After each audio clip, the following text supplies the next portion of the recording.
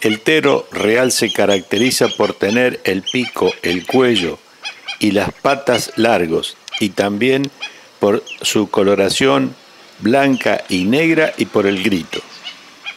Anda solitario o en grupos. Tiene la costumbre de posarse en una pata.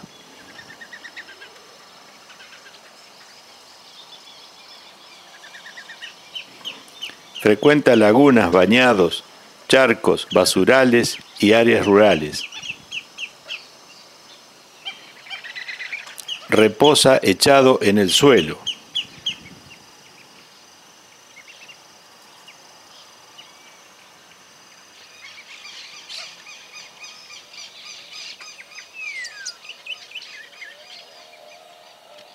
Busca el alimento picoteando, metiendo el pico en el agua o bien introduciendo la cabeza y parte del cuello.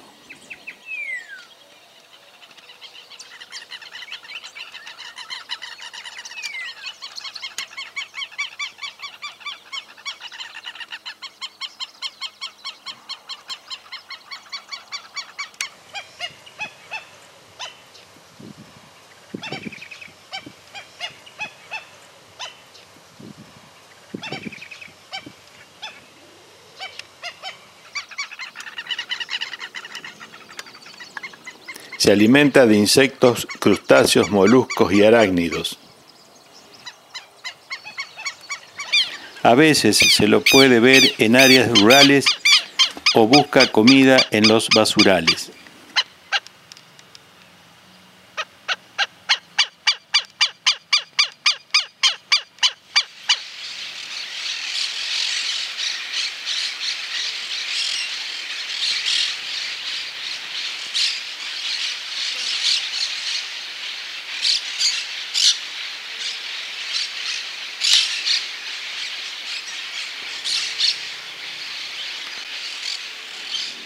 El nido es rudimentario, pone cuatro huevos.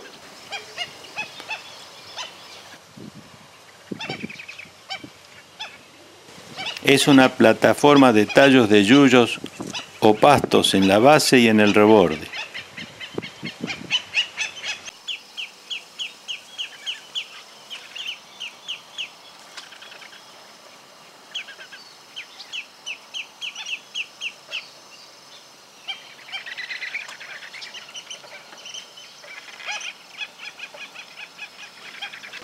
Cuando tiene los pichones y es molestado, simula estar herido para distraer la atención.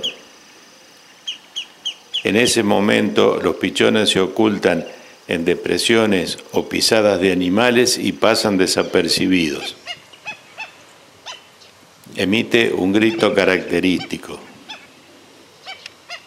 Los pichones tienen plumón pardo oliváceo con puntos y líneas negras ventralmente son blanquecinos.